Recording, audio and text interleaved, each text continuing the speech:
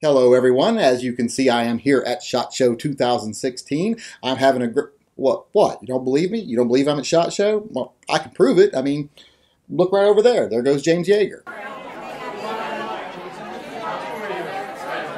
I'm just kidding. That's not really James Yeager. We all know James Yeager doesn't wear a hat.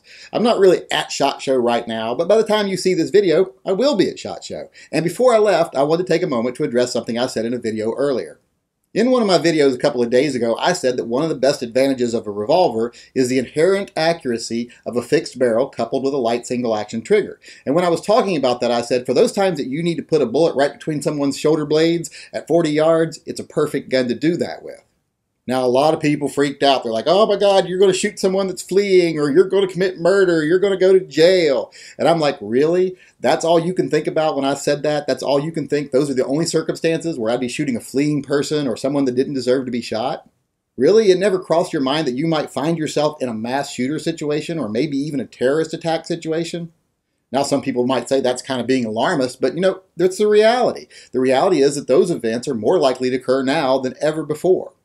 That doesn't make them likely, it just makes them more likely than they were before. And let's face it, I know a lot of people love to train for the, you know, the up close and personal confrontation where they get to seem all manly, you know, the bang, bang, bang, bang, you know, two in the body, two in the head kind of crap. But, you know, that is not very likely to happen. No gunfight's very likely to happen, but that kind of gunfight is not only unlikely to happen, but it can be avoided. Just common sense situational awareness can avoid 99.9% of those types of situations.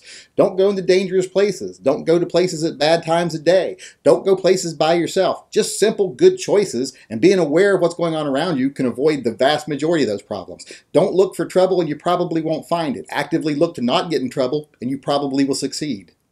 But mass shooter situations and terrorist situations, those are completely different. No amount of situational awareness is going to prevent those from happening. Short of staying home and never going out in public, you can't avoid the type of situations that might happen as far as a mass shooting or a terrorist attack is concerned. The whole point of these types of events is that they occur in common places where people gather. No one expects trouble. It's a place that's assumed to be safe. These people come there not to get away with something, not to take your wallet, but to kill people and likely be killed in the process. And let's face it, they're not bringing LCPs or concealed carry guns to these events. They're bringing ARs, shotguns, other long guns, multiple handguns, and so on. So chances are, like I've said in other videos, you're going to be outgunned.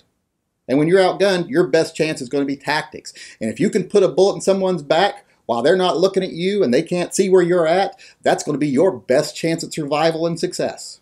I don't know if people are hung up on some sort of cowboy mentality that I'm going to look a man in the eyes when I shoot him. That's stupid.